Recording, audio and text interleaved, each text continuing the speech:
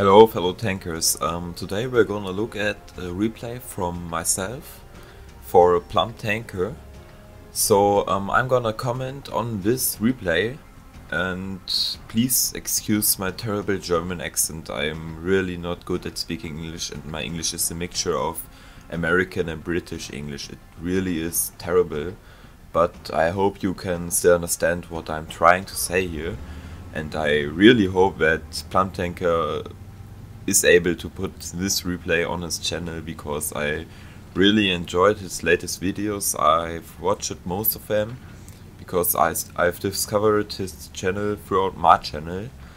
Um, I don't know how YouTube said to me that like I had him in my um, in my uh, videos. You know, right side when you upload a video yourself, there are few videos from other channels, and I found his there so please excuse my accent and please excuse when I I don't know Plumb Tanker for too long.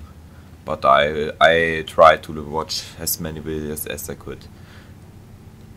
so the E75, I really like this tank. Uh, first of all, I like the VK4502B more than the E75 itself, but after a time I kind of discovered that the extra mobility the E75 has is just simply superior compared to the VK4502B. It's not that of an artillery magnet and you don't need to fit a spall liner on the E75 but you certainly have to fit a spall liner on the VK4502B. So yes, the first shot goes into the lower plate of the E50 it's very important to aim for that because the upper plate is almost as strong as the one on the E75. It's very well angled and it has 150 millimeters of armor. So this is a kind of strong position for the E75 but you have to watch out for the front road wheel or drive wheel, I don't know what the what the English word for that is. That if people shoot through that, you're gonna get tracked and you're gonna get damaged, and it's not good for you. Especially not when an autoloader shoots at you. Now we see on this edge here, um, there are many heavy tanks and some really bad tank destroyers like the Jagdpanzer E100, the Jägeru.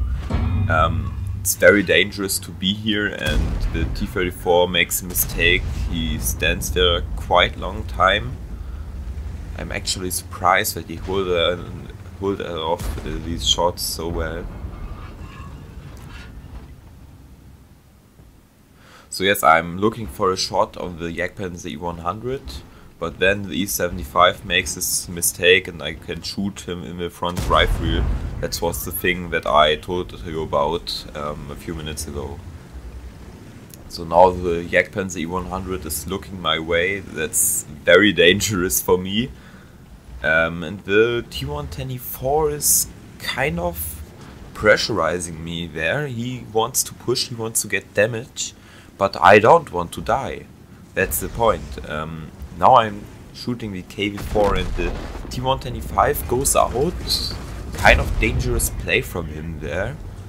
Um, yes, and he's getting damaged, but I, I'm not gonna push. I'm not gonna die with you, mate. sorry.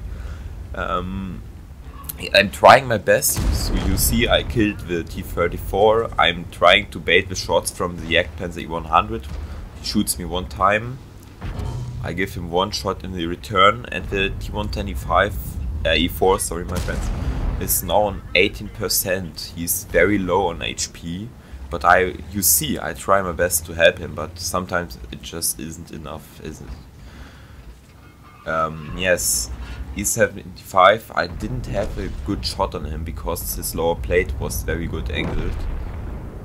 And now the E4 calls me, calls you to me in chat and calls me a coward.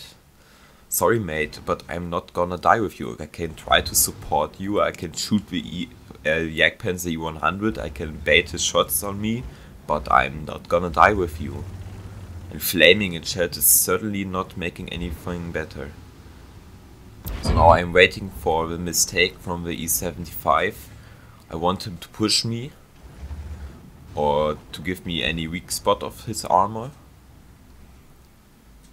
Um, yes, it's not working too well. My replay is bugging right now. I hope um, it's not bugging with Plumb Tanker. Uh, so I, I shot and I missed my shot because the 75's gun is not the most accurate in the world.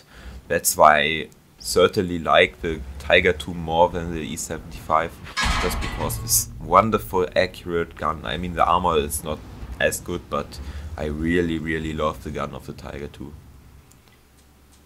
Now I had a shot on the relatively unangled side armor of the E75 through the gun, uh, through the, the rifle. Sorry guys, my English really is terrible.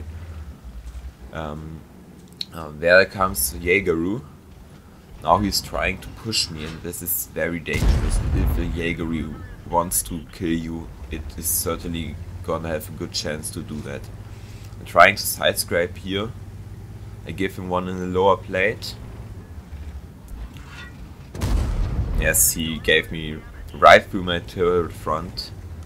You have literally no chance to bounce that. Now I tried to shoot him in the side, I didn't really manage to penetrate him, the angle was still too high, but I couldn't get in front of him. If you go in front of Jaegeru, you're gonna die. But I could outplay him there kind of now only the E75 remains and I know I can take a shot from him. My first shot bounces off the angled lower plate because I was shooting down into it. Then I drove around him. He didn't turn his horse so I could just shoot him in the ass. Funnily I even bounced his shot. So that was the replay. I hope you liked it. I hope you can include it on your channel. And uh, thanks for watching.